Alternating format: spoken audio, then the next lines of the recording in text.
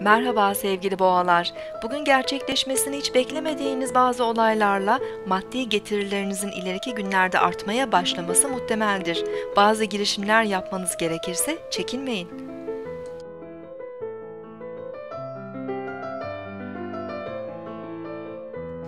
Bugün 19 Ağustos 2014 Salı, Mars günündeyiz.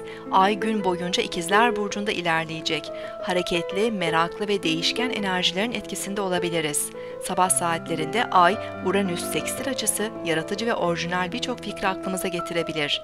Çevremizdeki kişilerle iletişimimiz artabilir, seyahat ve geziler yapabiliriz.